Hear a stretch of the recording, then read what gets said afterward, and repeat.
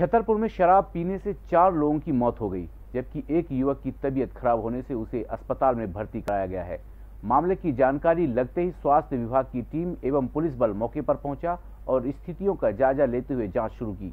बताया जा रहा है कि हरपालपुर थाना क्षेत्र के ग्राम परेथा में शीतल अहिरवार की पत्नी की तेरहवीं में उसके रिश्तेदार शामिल होने के लिए आए हुए थे, जिसके बाद दूसरे दिन शीतल अहिरवार एवं उसके बेटों ने रिश्तेदारों एवं कुछ अन्य लोगों के साथ मिलकर शराब पी।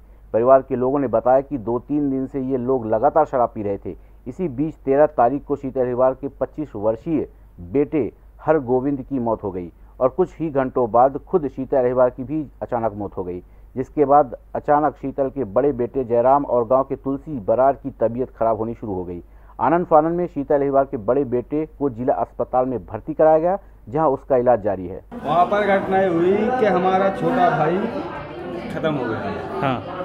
तो उसको मान लो पहले तो उसको पसीना आया। तो उसको लेके गया मैं हॉस्पिटल हरपालपुर। और वहाँ से वापसी लौटा शाम को नौ बजे। शराब वराब कुछ नहीं शराब पी थी मैंने बुध- बृहस्पति बुधवार और बृहस्पति हम्म। भाई मैं मेरे सामने किसी नहीं करा हाँ एक विलेज परेथा है।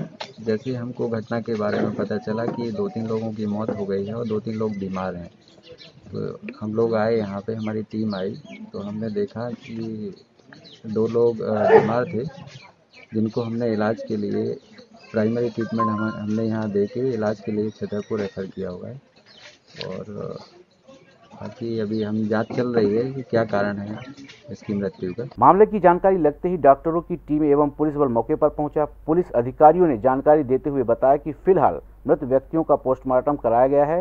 गाँव वालों ने बताया कि कुछ लोगों ने इस परिवार के साथ शराब पी थी, उधर पुलिस ने इस मामले को लेकर जाँच शुरू कर दी है। आज ये सरेठा गाँव में हम लोग एस पी साहब डीआईजी साहब और बाकी अधिकारी आए थे भी पता चला था कि यहाँ हुई हैं, कुछ बीमार हुए हैं। तो देखा है, लोगों से बात की, उनके परिवार वालों से बात की है।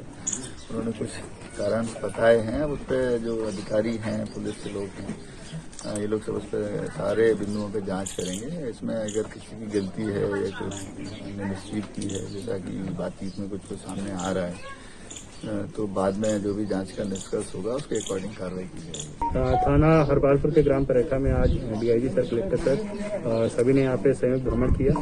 और भ्रमण के दौरान ये तथ्य सामने आया कि जो दो घटनाएँ हुई हैं, उसमें किसी महिला के द्वारा काला जादू या फिर कुछ ऐसा खिला पिला किया गया है, जिससे कि जो नेगेटिव एनर्जी है, वो पूरे गाँव में व्याप्त है।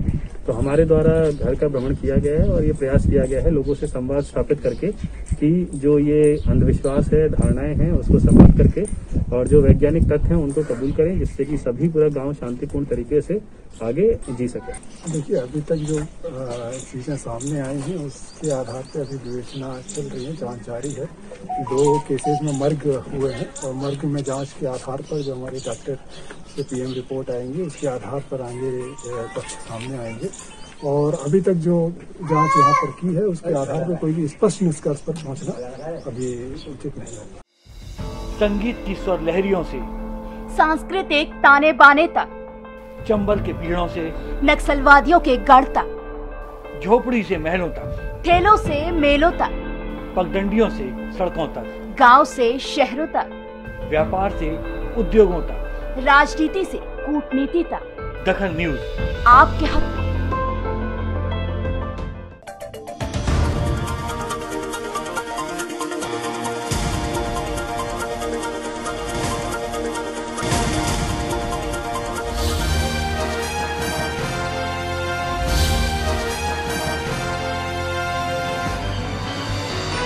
आप देख रहे हैं दखल न्यूज़।